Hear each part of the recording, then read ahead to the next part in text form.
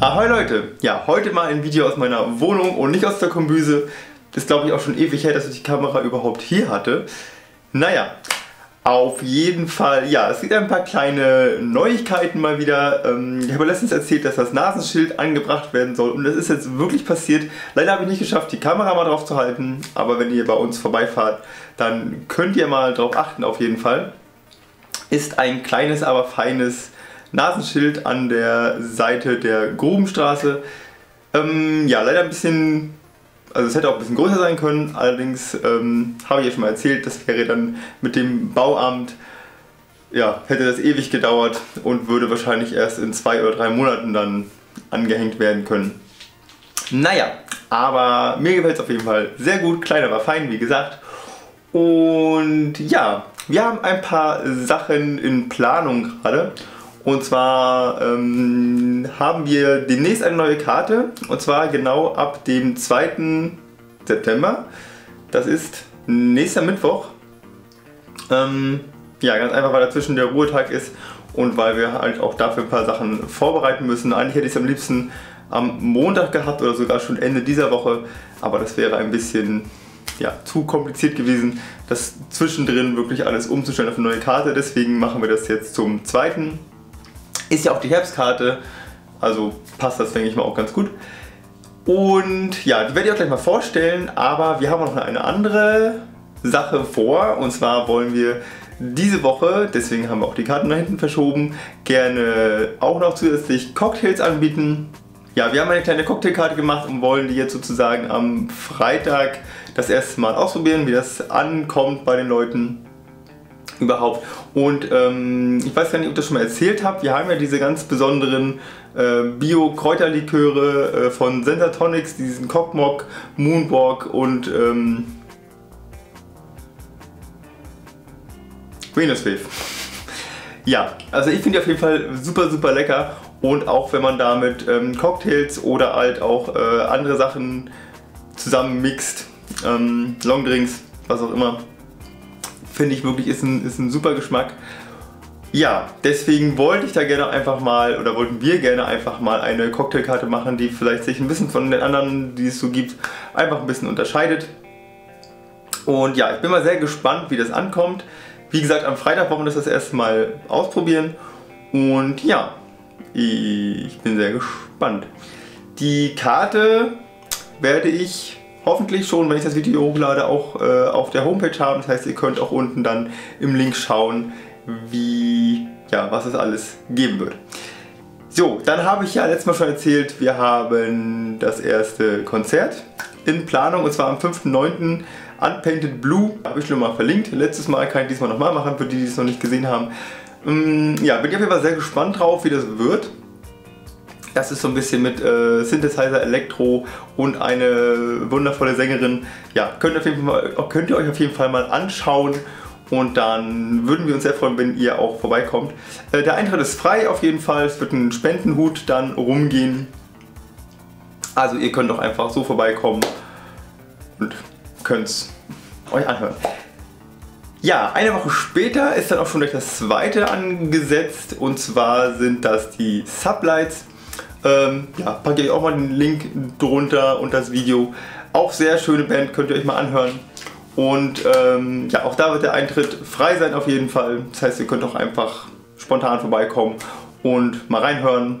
Und wenn es euch gefällt, dann bleibt ihr halt und wenn nicht, dann äh, geht ihr halt wieder. ja, wir sind noch gerade dabei, ähm, Frühstück zu planen und zwar fürs Wochenende. Allerdings, ähm, wann genau das sein wird, weiß ich noch nicht. Wahrscheinlich wird es noch ein paar Wochen hin sein, dafür da uns dafür das, weil pff, es ist früher Morgen, dass wir, da wir dafür halt noch ein paar ähm, noch die Karte uns erstmal sozusagen ausdenken müssen, kalkulieren müssen und so weiter. Ähm, ein paar Zutaten, Zubehör besorgen müssen dafür. Und auch Geschirr wahrscheinlich, also anderes Geschirr als wir jetzt haben fürs Frühstück, mal schauen. Ja, deswegen wird das noch ein bisschen dauern, aber ich hoffe, das wird auch relativ schnell dann da sein, denn ähm, ja, es wurde auch schon öfter mal nachgefragt. Also nachgefragt auch und es wurde auch, äh, ich glaube in Rostock Vegan, also in der Facebook-Gruppe Rostock Vegan wurde auch schon mal behauptet, dass die grüne Kombüse schon äh, Brunch anbietet. aber ja, leider nicht. Ja, war sogar schon mal jemand bei uns, eine junge Dame, die wollte gerne, also hat verzweifelt nach was Veganem zum Frühstück gesucht, hat dann von uns quasi aus unserer Karte einfach die Klappstühle genommen, weil wir gesagt haben, halt, wir haben noch nichts. Das war auch morgens um, weiß ich nicht, 9 Uhr oder so ähnlich, da hatte ich auch noch nichts fertig. Ähm, ja, darüber war sie auf jeden Fall sehr glücklich, aber es wäre natürlich schön, wenn man da wirklich was ordentliches anbieten könnte. Okay, ich laber viel zu viel. Ähm, okay, dann zur neuen Karte. Ihr habt ja die alte Karte mal gesehen, die habe ich ja mal in die Kamera gehalten, wie wir die gemacht haben. Ähm, es waren ja quasi bloß diese dicke, also diese Pappe war es ja nicht, aber dickeres Papier zusammengehalten mit Eisenringen. Ähm, ja, der Vorteil war, dass es ohne Plastik war. Der Nachteil war, dass wir erstmal konnten wir es nicht selber ausdrucken. Das heißt, wir mussten zur Druckerei gehen, mussten das ausdrucken lassen, weil so ein dickes Papier, weiß ich nicht, was es da für Drucker gibt, die man sich für zu Hause kaufen kann, die so ein Papier drucken können. Und ähm, das andere war, dass sie halt ziemlich schnell ausgenuppelt sind. Also ich habe zwar diese, diese Eisenringe in die Löcher rein gemacht, also diese Eisennieten oder wie das heißt. Ja, trotzdem waren die ziemlich schnell ab, sind durch die Gegend geflogen quasi und äh, das Papier hat sich nach und nach einfach aufgedröselt. Also wir haben jetzt ja, zwei Monate aufgehabt und hatten quasi 40 Karten, die sind jetzt alle so ziemlich hinüber sozusagen. Ja, deswegen ist das jetzt auch nicht super ökologisch in dem Sinne. Ähm, ja, deswegen haben wir auf jeden Fall verzweifelt nach einer anderen Möglichkeit gesucht, haben einige Pappkarten gefunden, die allerdings so extrem teuer sind, habe ich glaube ich auch schon mal gesagt, die zwar total schön sind, aber dann mit, ich glaube bei uns sind es jetzt sechs Seiten ähm, oder sieben, sieben Seiten da würde dann eine Karte würde dann so 40 Euro oder mehr kosten. Also ähm, ja, ganz schön teuer. Deswegen haben wir das gefunden. Ja, das ist sozusagen in einer äh, Holzoptik, also es ist auch echtes Holz und ist sozusagen äh, Holzwurmoptik, so hieß das. Und ist sozusagen, ja, die Umrandung der Karte wird mit solchen Schnüren zusammengehalten. Leider ist es weil wir es nicht anders äh, hingekriegt hätten, auf die Schnelle sowieso nicht, ähm, mit Plastikeinschüben. Aber ich hoffe mal, wenn die einfach länger halten, dass sich das dann trotzdem ähm, lohnt sozusagen. Und außerdem, wir können halt wirklich, ja, können halt wirklich selber ausdrucken an unserem Drucker und können das sozusagen von oben einfach reinschieben. Deswegen bin ich mit der Methode jetzt ganz glücklich. Äh, wir hatten zum Beispiel auch einmal eine gehabt, das war irgendwie, es war, also es war Kunstleder. Also die hätten wir annehmen können zum ganz günstigen Preis von ähm, einem Gastroausstatter in Rostock. Ja, wollten wir auch nicht, erstmal weil das Kunstleder trotzdem irgendwie nach Leder aussieht, weil es komisch riecht. Und weil Kunstleder jetzt auch nicht gerade das ökologische Produkt ist, das es überhaupt gibt. Ja, Gut, deswegen ähm, ja, hat mir das ganz gut gefallen auf jeden Fall. Äh, die Karte ist jetzt schon, ja, habe ich jetzt schon einmal reingepackt. Die ist allerdings noch nicht so, wie sie später aussehen wird. Allerdings vom Inhalt her stimmt sie ungefähr. Ja, ihr hattet ja mal gesagt, dass ich die letzte Karte vorstellen soll. Deswegen wollte ich das gerne bei dieser machen, zumindest teilweise. Ja, die Salate sind größtenteils so geblieben. Wir haben jetzt noch einen ganz kleinen Salat, also einen kleinen Salat weil ja, es wurde, kam auf das Feedback, dass unser mittlerer, also damals unser kleiner Salat, jetzt unser mittlerer Salat, einfach zu groß ist und dass einige einfach nur ein wirklich ganz kleines Salatschildchen haben wollten. Ähm, zum Beispiel auch, wenn man zu einem Gericht, wo kein Salat dazugeht, zum Beispiel zu den Nudeln, sich einfach einen kleinen Beilagensalat dazu bestellen kann und dann ist gut. Ja, deswegen haben wir jetzt einen kleinen Salat, mittleren Salat und einen großen Salat. Wie immer mit gebratenem Tofu. Dann gibt es die Suppe des Tages, jeden Tag wechselnd. Ähm, die Vorspeisen sind auch so geblieben, für die, die jetzt noch nicht in die Karte geschaut haben. Das sind einmal die gefüllten gratinierten Tomaten mit Balsamico-Reduktion. Dann die Nusscremebällchen im Blütenmantel, also sozusagen eine Cashew-Nusscreme. Und das rote Beete Carpaccio mit Nussparmesan und Balsamico-Creme und Rucola. Ja, Dann die Hauptspeisen. Wir, haben, wir hatten vorher jetzt äh, fünf Hauptspeisen, haben jetzt wieder fünf Hauptspeisen und zwei sind auch so geblieben und zwar sind das die beiden beliebtesten, wovon, also wobei mich auch schon einige angeschrieben haben, dass die wieder draufbleiben sollen. Und zwar sind das die Linsentaler mit fruchtigem Chutney, Cashewsoße und Quinoa. Und das Kombüsengulasch mit Gewürzkartoffelspalten. Ja, die beiden sind auf jeden Fall drauf geblieben. Ähm, sind auch saisonal beide anpassbar. Also das fruchtige Chutney kann ja zum Beispiel mit Obst gemacht werden, je nach Saison. Und ähm, ja, das Gulasch im Endeffekt genauso. Ja, also wie gesagt, das, die beiden sind echt unsere Renner bei uns. Dann haben wir als neues Gericht die Tagliatelle mit würziger Pilzrahmsoße. Ähm, bin ich ehrlich gesagt ein riesen Fan von, von Nudeln mit äh, Pilzrahmsoße und die ist auch bei uns ohne Soja. Es steht jetzt übrigens dran. Also sojafrei, glutenfrei, sojafrei. Also man kann das ganz einfach, wenn man das sojafrei haben möchte, steht es eigentlich bei jedem Gericht dran. Wenn ich es nicht vergessen habe, ich habe es hier nämlich...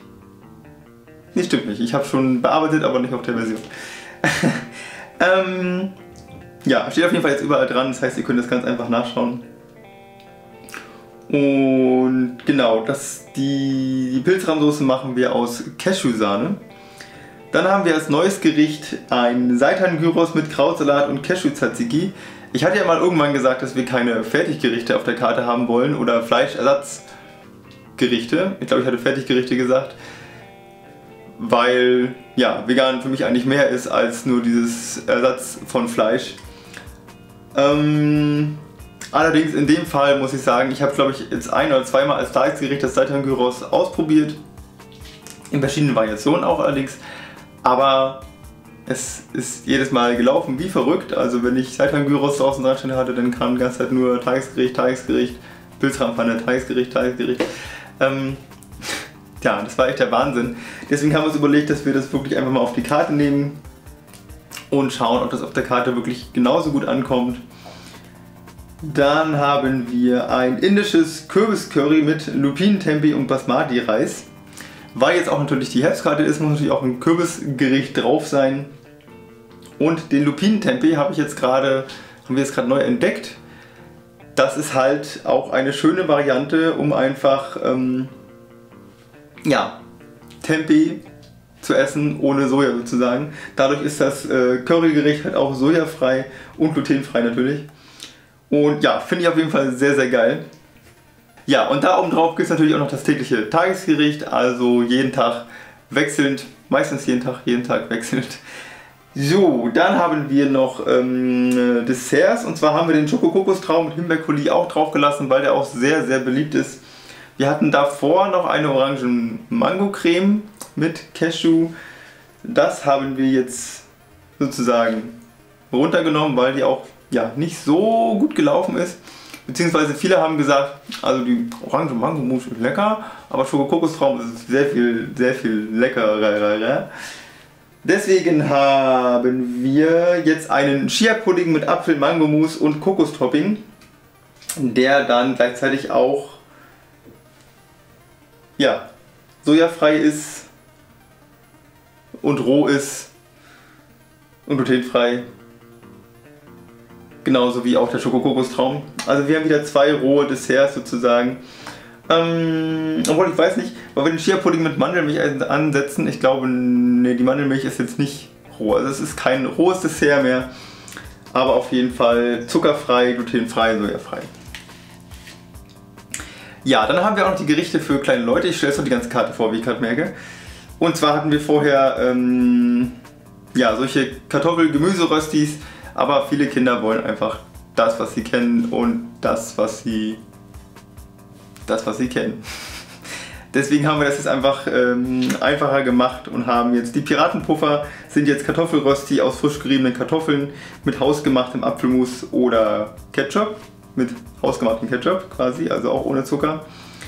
Und die Seemannsknoten waren vorher mit äh, Pilzrahmsoße, sind jetzt mit Tomatensoße, weil sich auch oft äh, Kinder statt der Pilzrahmsoße die Tomatensoße gewünscht haben.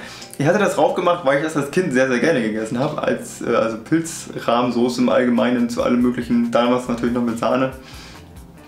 Aber ähm, ja, die Kinder von heute mögen einfach mehr Tomatensauce anscheinend. Egal. Jo, ja, die Snacks haben wir auch ein bisschen verändert, es sind ein paar Sachen rausgeflogen. Wir haben immer noch die Rohkost-Chips natürlich. Dann haben wir jetzt auch die Rohkost-Energiebällchen, die ihr wahrscheinlich alle kennt. Die knusprigen Kartoffelspalten einfach mit Mayo und Ketchup. Dann kann man nochmal extra die Lupinen, Tempitaler, den Ketchup und die Mayonnaise auch nochmal extra dazu bestellen. Ja, Getränke muss ich jetzt glaube ich gar nicht durchgehen, oder soll ich? Ähm, ja, Smoothie natürlich. Wir haben alle unsere Bio-Zisch-Limonaden, also alle unsere Limonaden von Bio-Zisch, also von Völkel bis auf drei von Proviant Berlin. Und wir haben eine Premium-Cola, die Kollektivisten-Cola mit hohem Koffeingehalt, fair, transparent und anders.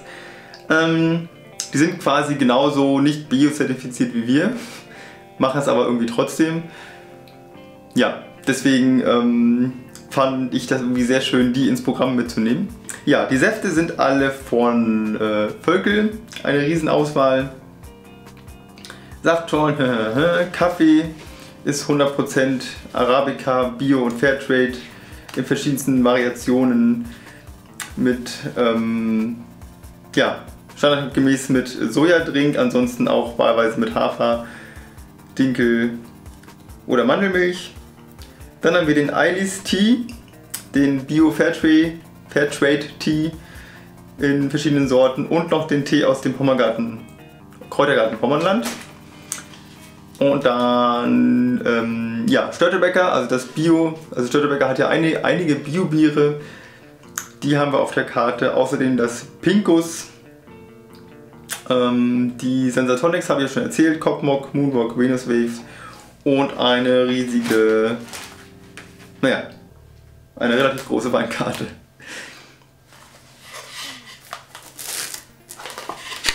Okay, ja wie gesagt, am Design ähm, arbeiten wir gerade noch ein bisschen.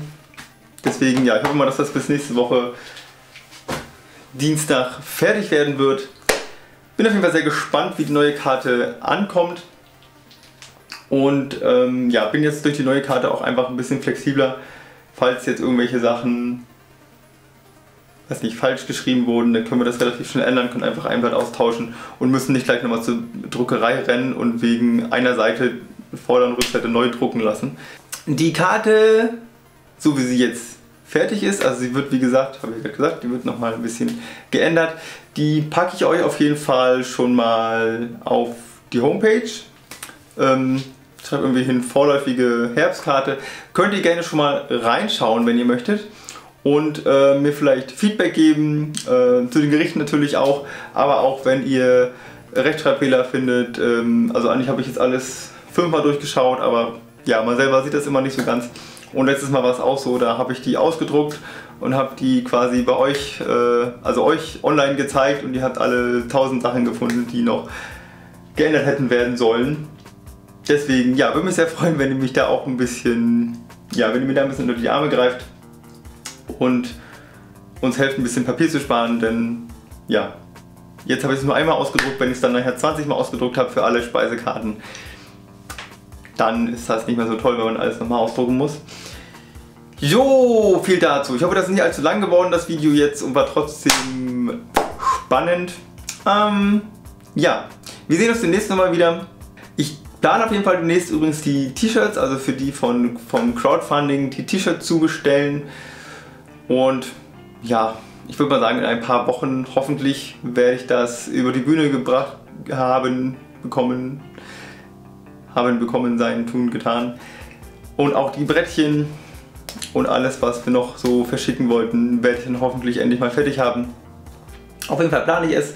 Ich hoffe, dafür ist ähm, genug Zeit nebenbei. Ja, in diesem Sinne wünsche ich euch noch eine schöne Woche und ähm, ja, vielleicht sehen wir uns ja mal. Ansonsten bis zum nächsten Video. Tschüss.